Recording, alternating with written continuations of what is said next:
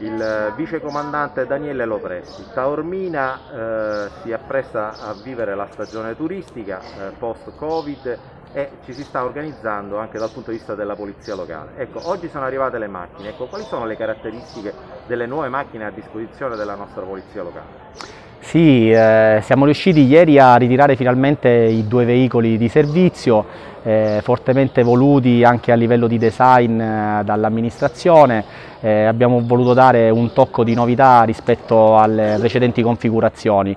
Abbiamo due veicoli che sono dotati di eh, strumenti che permetteranno ai colleghi di lavorare con eh, più serenità perché eh, abbiamo predisposto nella parte posteriore un piano d'appoggio per la compilazione dei verbali, dei vani accessori per il contenimento di tutta la strumentazione necessaria per il rilevo degli incidenti piuttosto che abbiamo dei dispositivi dispositivi luminosi implementari sia anteriori che posteriori che rendono più visibile il veicolo e ovviamente diventa uno strumento di lavoro eh, più efficiente. Eh, dal punto di vista del personale, ecco, Taormina come ci si appresta a vivere questa stagione turistica? Ecco, si parla tanto di eh, possibilità di avere personale a comando, ecco, ci, ci spiega quante persone dovrebbero arrivare a Taormina? Quante persone quanti agenti dovrebbero arrivare? Sì, eh, l'ufficio preposto che l'ufficio personale sta lavorando da diverse settimane eh, con comunicazioni con alcune amministrazioni comunali,